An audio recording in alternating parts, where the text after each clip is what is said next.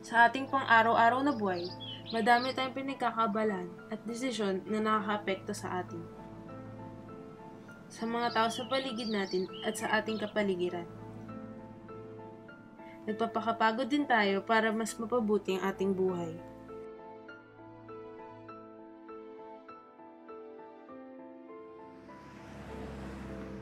At minsan, dahil sa sobrang busy natin, parang nakakalimutan na natin ang mga tao at bagay-bagay sa paligid natin na nangangailangan ng atensyon at tulong gaya ng mga batang namamalimos sa lansangan. Bakas ang kahirapan kahit saang parte ka ng Pilipinas tumingin. Maraming nagkalat na basura, maraming informal settlers, maraming may hirap. Bakit ba may may hirap? Bakit hirap silang umasenso sa kanilang buhay?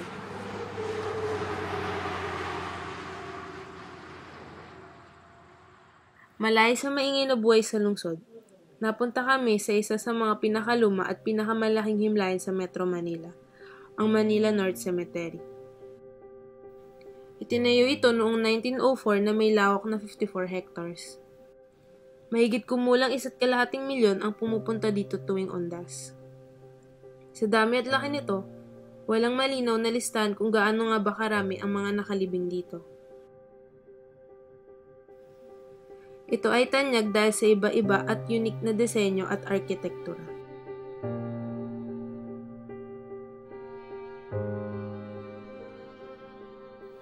Matatagpuan din dito ang ilan sa mga kilalang personalidad at bayani na humubog sa kasaysayan ng Pilipinas.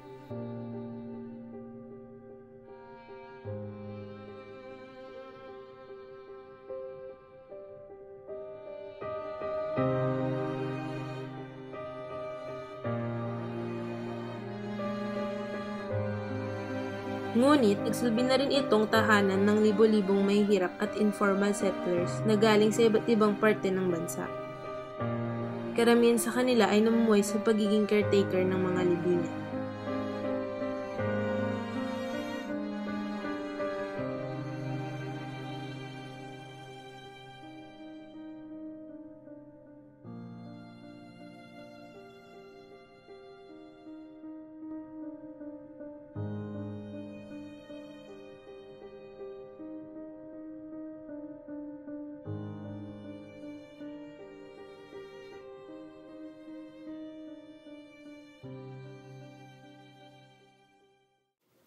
Isa na dito si Mang Lito.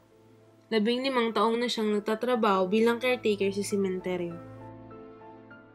Kasama niya ang kanyang asawa na si Aling Alma at ang kanyang tatlong taong gulang na anak na si Angel. Malugod niya kaming pinatuloy sa kanilang munting tahanan.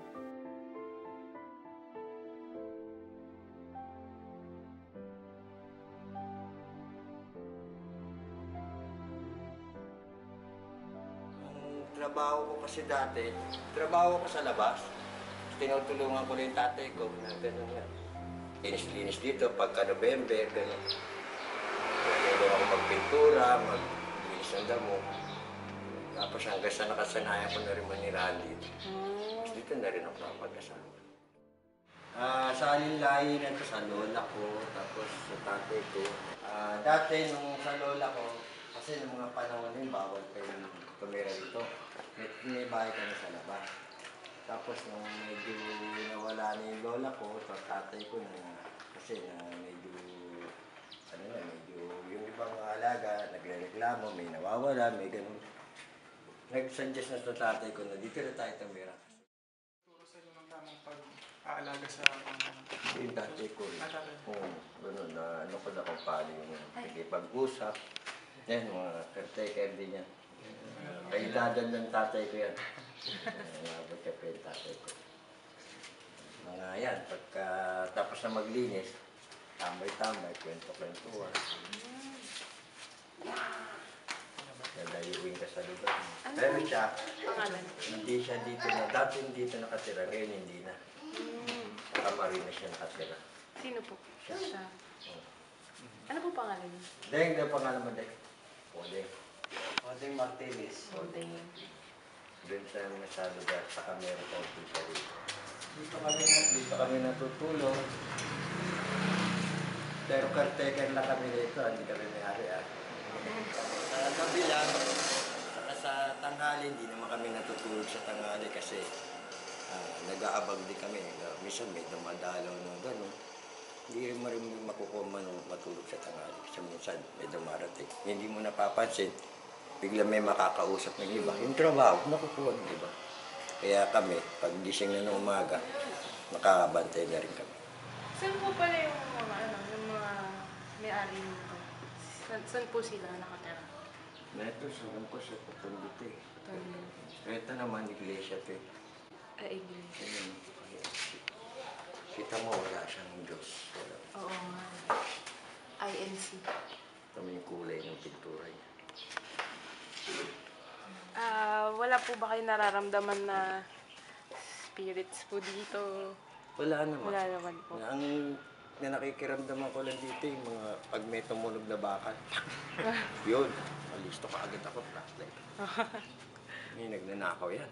Ay, may magnanakaw pa rin po dito. Diba? Wala naman. Yung mga mga pagkakapera niya. Ganyan. Bakal, mga... Bakal tapos mga bulaklak. Na. Pati po bulaklak. O, pwede pa ibenta na. Diba, may nilibig. Tapos, fresh yung mga bulaklak. Hindi mo napamigay. Kapilya. O, gawa ng paraan nila. yun. Hmm. Kamusta naman po yung mga, ano, mga kapitbahay niyo rito? Yan. Hindi naman ako, kasi dito ako, kami lang nakatira rito. At kayo lang po. Kami kapitbahay na. So wala Hindi kayo ka- talaga. Oo, hindi ka tulad sa iba. Diyan punta kayo na marami. Mm. Pero dito lang. Wala kami. Kaya nami-maintain namin na talaga malinis yung paligiran dito. Kamusta naman po yung buhay niyo rito? Okay naman, kailangan naman kasi pag dito ka, kailangan may trabaho ka rin sa labas. Ano Kasi pong trabaho niyo sa ah, labas? ko? pintor ako, painter ako. Ah, sa labas. Kaya kung talagang dito ka stable, kailangan marunong ka magmasol. Ganun. Taga may na po mag Oo.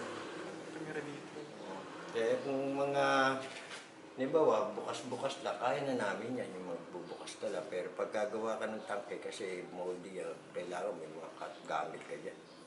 So, pag bubuksan lang, tinatawag na exhumation, kaya na namin. Sapat naman po yung nakukuha ng pera pangkain sa Hindi rin talagang. Talaga, Minsan yung, yung taunan mo na advance mo na. Six, oh, six months pa lang. Nababali mo na yung bayad. Kasi ang alaga ba, taunan, gano'n. Kung meron ka mang arawan, may 50. Ah, buwanan pala. Kung may buwanan ka, 50, sandal. pero mag-anak na po sa sa ibang probinsya. Alam po nila nandito kayo nakatira ngayon. Hindi, ah, kami talaga litimo taga Manila. Ah. Meron ako mga ka- kapatid sa probinsya, kada pag-asawa, pero hindi siya talaga lumaki ro. May contact pa po kayo sa kanila. Meron pa rin. Tapos may kapatid din ako rito, dyan sa kabila. Pag-asawa dyan, kuya ko. Sa kabila. Kuya rin, niyo po may yun? tindahan. Oo, Mm. may tindahan. So dito din po sila. Oo, dito rin. Yung nakuha kong alaga ng tatay ko, kasi yung sa tatay ko, eh, hati kami sa ano. So bali, tulong-tulong na lang po. No? Oo, oh, gano'n. Bayad, hati kami kasi may pamilya Makuha kami trabaho, hati kami sa kanila. Hindi na tulad na, mainit, ayoko na. Hindi po pwede. Ano? Trabahuin mo yan. Talagang tsagaan lang din po Oo, bukas kailangan, may darating sila bukas kailangan. Pagdating mo yan, totally.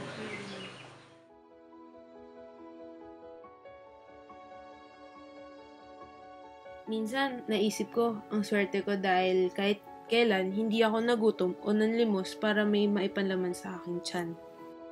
Kung ako ang tatanungin, malamang hindi ko kakayanin ng ganyang klaseng buhay. Iniisip ko palang mahirap na. Pero bilib ako sa kanila dahil sa kabila ng hirap na nararanasan nila, nagagawa pa rin nilang umiti. Parang wala lang. Parang hindi alintana ang sitwasyon na meron sa kanila.